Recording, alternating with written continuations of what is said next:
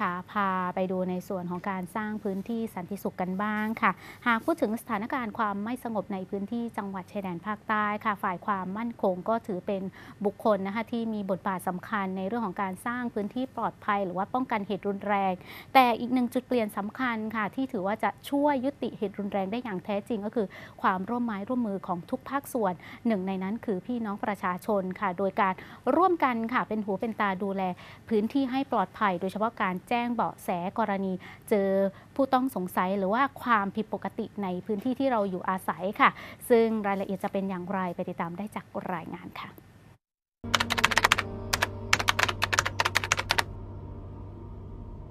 จากเหตุการณ์ความรุนแรงที่เกิดขึ้นเมื่อวันที่ 20 กันยายน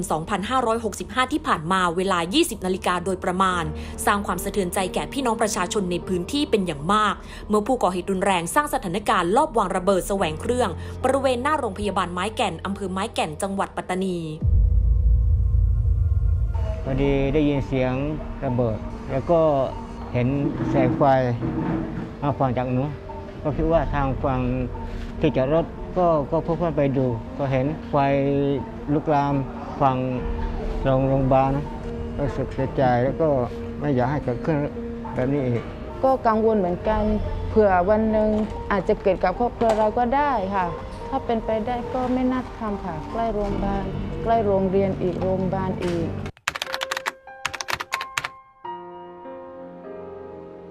ก็พอเราตั้งสติได้ พี่ก็ลงไปช่วย ปฐมพยาบาลทางด้านจิตใจ คนไข้ผู้บาดเจ็บอาหารที่ห้องฉุกเฉินนะคะเบื้องต้น ยอมรับเลยว่าตอนแรกก็แอบกลัวเหมือนกันเพราะว่าได้ยินเสียงระเบิดอะไรเงี้ยเราก็ไม่รู้ว่าเป็นหม้อแปลงหรือว่าเป็นอะไรอย่างเงี้ยครับแต่ว่าคือตอนนั้นคืออยู่ในห้องพักแล้วมันรู้สึกว่าห้องมันสั่นมากอะก็คิดว่าไม่น่าจะหม้อแปลงธรรมดาแล้วก็เลยเดินออกมาก็ได้กลิ่นแบบเขมเหลาวควันแล้วก็คิดว่าอ่าน่าจะเป็นไปในทางของระเบิดแล้วแหละอ่าหน้าโรงพยาบาลเนี่ยไม่ค่อยไม่ค่อยไม่ค่อยไม่ค่อยได้เกิดเหตุการณ์เท่าไหร่เนาะแต่ว่าอ่า มารอบนี้รู้สึกว่ามันมันใกล้ตัวมากเนาะแล้วมันถือว่ามันชีวิตเรามันอยู่ในความเสี่ยงเนาะเพราะว่าอยู่หน้าโรงพยาบาลมันก็เลยมันก็เลยเสี่ยงมากนะสำหรับบุคลากรทางทางการพยาบาลครับผมก็อยากให้แบบว่าให้นึกถึงความเสียหายที่มันเกิดขึ้นนิดนึงครับว่าถ้าเนี้ยมันเป็นที่ที่รักษาพยาบาลเลยครับ อยากให้คุณแบบว่า คิดนิดนึงอะไรเงี้ยครับอืมเหตุการณ์ที่เกิดขึ้นในคืนนั้นทำให้เจ้าหน้าที่ตำรวจเสียชีวิตหนึ่งนาย คือดาบตำรวจบารีบากาอายุ 41 ปี และได้รับบาดเจ็บ 3 นาย ซึ่งเป็นเจ้าหน้าที่ตำรวจชุดปฏิบัติการสายตรวจ สถานีตำรวจภูธรไม้แก่น ที่กำลังปฏิบัติหน้าที่ตรวจตราความเรียบร้อยในพื้นที่รับผิดชอบอะวันนั้นนะครับอ่า ผมอยู่บ้านบ้านอีกหลังหนึ่งแล้วก็ได้ยินเสียงระเบิดราวๆสักเกือบกับสองทุ่ม ผมก็ได้ออกจากบ้านมาขับรถมาเลย มาถามบ้านแม่ว่าน้องชายผมอยู่ไหนมาดูรถรถไม่มีแล้วก็โทรไปโทรไปหาน้อง น้องก็ไม่น้องก็ไม่รับผมเลยมาขับรถไปถึงที่เกิดเหตุ น้องผมเสียชีวิตอยู่กลางถนนก็รู้สึกเสียใจแทนชาวบ้านนะครับ ซึ่งที่นี่เราเราคาดไม่ถึงว่ามันไม่น่าจะเกิด อย่างเช่น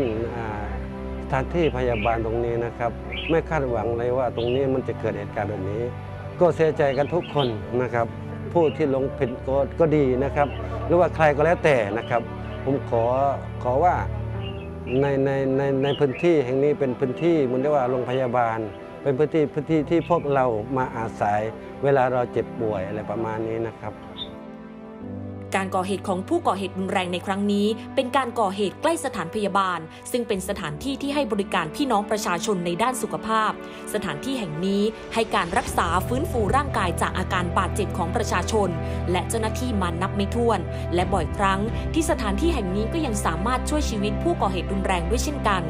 การก่อเหตุในครั้งนี้นับว่าเป็นเหตุการณ์สะเทือนขวัญที่ทำให้พี่น้องประชาชนหวาดกลัว เสียขวัญกำลังใจ